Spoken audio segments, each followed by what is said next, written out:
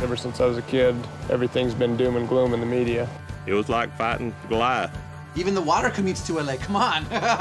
we try and take stories about real people doing real things, engage an audience, and connect them to what's possible.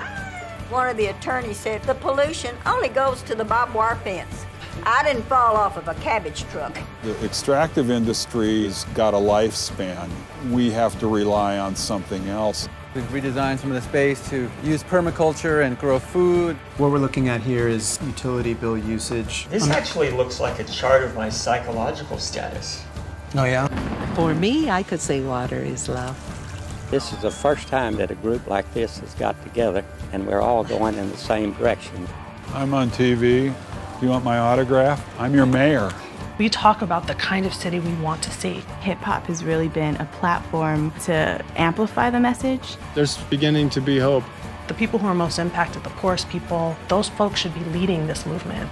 We have a monumental task to overcome, and it's going to take everyone's collective effort. There are no easy answers, no clear solutions. There's only what each of us is willing to do.